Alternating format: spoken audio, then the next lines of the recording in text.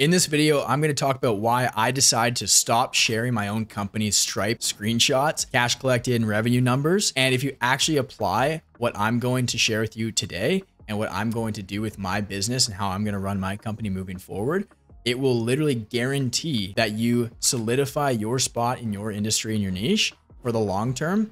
And you absolutely blow everybody else out of the water and there's no competition left. So stick with me let's get into it. Here's why I decided to stop sharing my Stripe screenshots. Obviously, at the start, when I first started my online coaching business like a few months ago, I needed a case study. So I decided to be my own case study. I popped off, did like 50 bands in like five weeks, got a bunch of clients. They're all literally crushing it right now. Like the wins channel's popping off. There's like, I don't have many clients in there compared to other communities and programs I've been in, but literally get more wins than all of them. And just over the last weekend, I hosted a mastermind with a bunch of people too and they were looking at my uh, Slack channel, the Wins channel. They were like, bro, how? That's what I'm going to share with you, like kind of how I've been able to do that, right?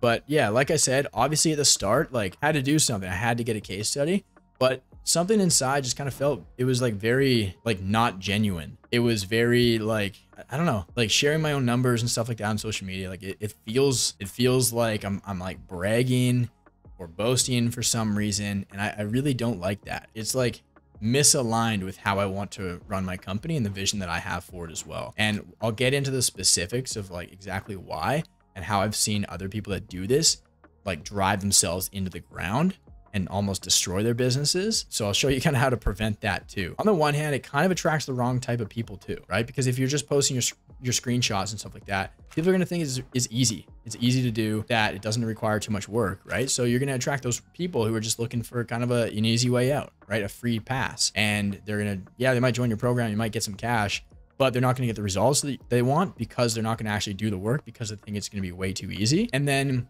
your client success rate goes down, the quality of your community goes down, and it just sucks because now you just wasted a ton of time. You don't get a case study out of them. They just wasted a bunch of money and time, and now they're not happy, and they might go talk poorly about you to other people, and then your reputation goes down, right? So it's just like a lose lose in that scenario. However, here's like kind of the the real kind of meat and potatoes that really drove this decision home for me. It's the com it's like the balance between short-term and long-term thinking right? So what I've seen a lot of coaches do that have literally kind of drove themselves in the ground is they optimize for the short term and they sacrifice the long term. All they're thinking about is how can I make more sales right now so I can get a, a bigger Stripe screenshot to share at the end of the month. That's all they care about, right? All they care about is cash collected revenue, like numbers, Stripe screen, screenshots, and just so heavily focused on sales and marketing. They got a shitty product. Their clients fucking hate them. They tell everyone else how bad it is, and no one gets results. And that pisses me off because on the surface, they preach how like they're so client focused and all this other bullshit. But then on the other end, on the back end, their clients hate them because they're they're not focused on their clients they're focused on just making more sales right like let's say you have like a funnel and or like a, a hose or something like that right and there's a ton of holes in it and you pour a bunch of water in. Well, you're, you're going to have water coming out of all the holes, right? The funnel's not going to work very well. You're going to lose a ton of water and it's not going to be efficient or effective.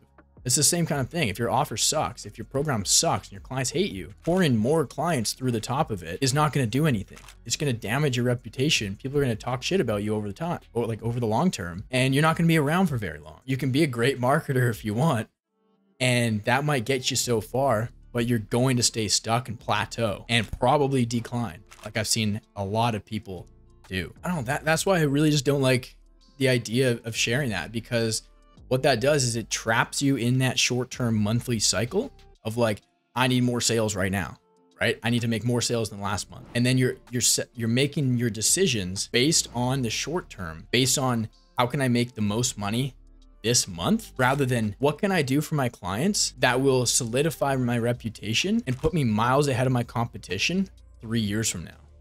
Nobody's thinking like this. That's why nobody's making that much money, right? But the ones who are have the best products, the best client experience, and the highest client success rates. It's not a coincidence. The reason for me pulling back and not sharing my numbers publicly anymore is because I want to build the best client experience in this game. I want to take a step back from marketing and sales. I'm not pushing it that hard right now. I'm not scaling my ads. I haven't increased my ad spend budget in the last two months because it's working. I'm paying my bills and like, guys, trust me, I- am doing good. I'm doing okay. Uh, I just rented a mansion for the weekend and had a bunch of clients fly out.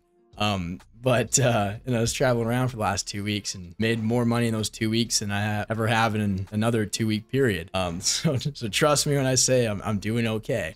But I want to take that step back and give my back end, my client experience, my product, the focus, the energy, the intensity that it needs right now to really just expedite and like just maximize the client results.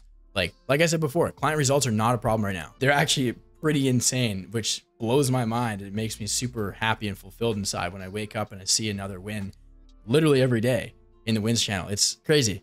Um, but nonetheless, like deep down, I know what's possible. and I know the potential of it. And because I'm like right now, full transparency, I'm offering a lot of one to one with my clients right now. So if you get in early, like don't wait because I won't be doing that forever because it's not scalable, right? As I build out the program, the back end, that's going to allow me to kind of remove myself a little bit and just have a better client experience that's just way more streamlined.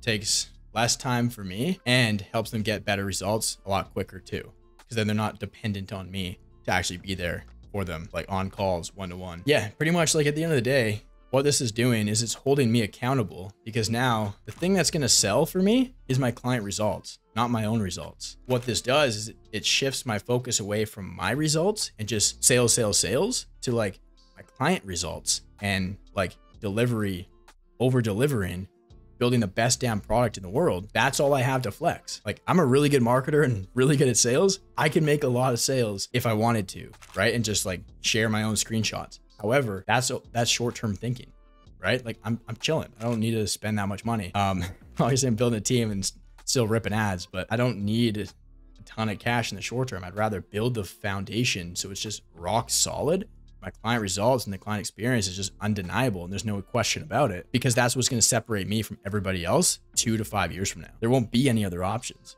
because I'm kind of sacrificing the short term now to just like fucking blow past everybody in the next couple years. You know, it's like that's worth it way more to me. I think that just makes a lot more sense because like your word of mouth and the the reputation that you have from your happy customers, most of them are going to be very happy right? If, if you have a really good experience, but that's going to just exponentially skyrocket you because now like you don't have to pay for new customers. When you get a customer, they pay you and then they're happy, they succeed, then they tell their friends and they come to you. You don't even have to sell them. They're already pre-sold and you just sign them up and enroll them. That's the beauty of it. The beauty of like just exceptional client results is you don't have to sell.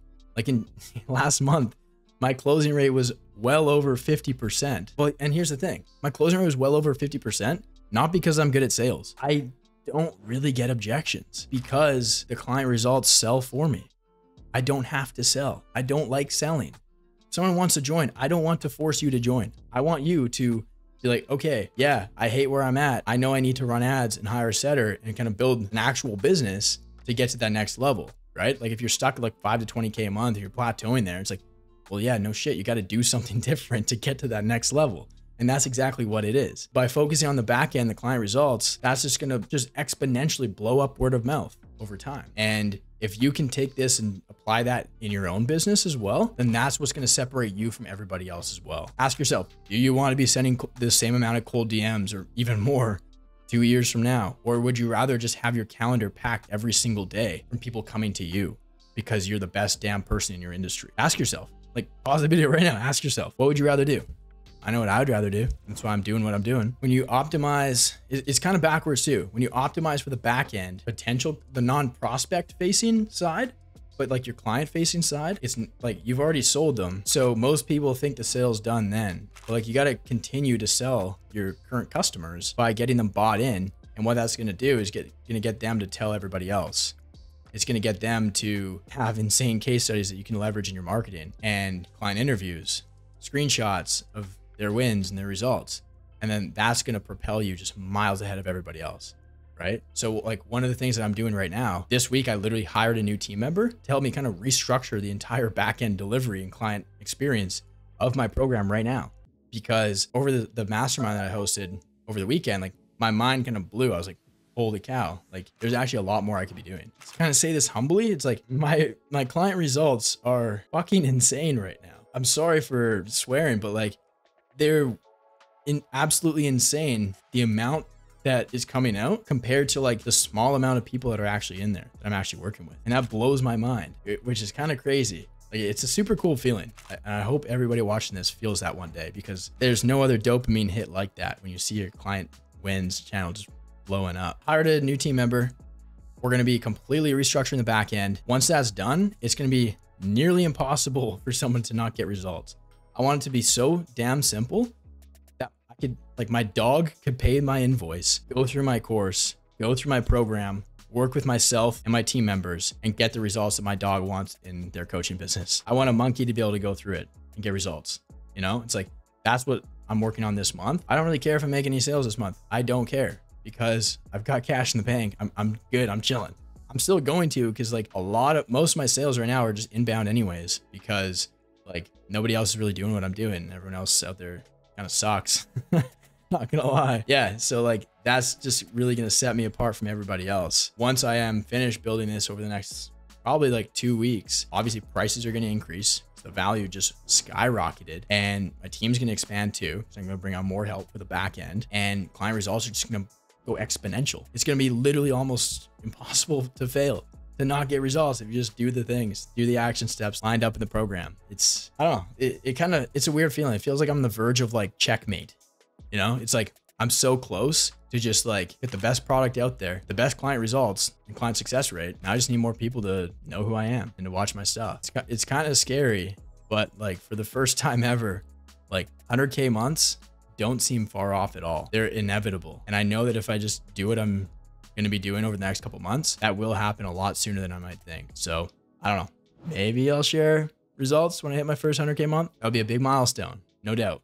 But until then, you probably won't be seeing much of my own numbers because I don't want to be stuck in that cycle optimizing for the short term. There's no pressure for me to share my Stripe screenshots or how much money I made. So I can actually take a breath, work on the back end and not have any pressure because I don't feel like I'm letting myself down my identity is not tied to my business success in terms of cash and revenue. It's like it's tied to building the best product, the best client experience, and actually having my clients love me. Like that's what I want, you know? Because if somebody pays me money, I owe them. I better damn do whatever the hell I gotta do to over deliver and get them the best results I possibly can.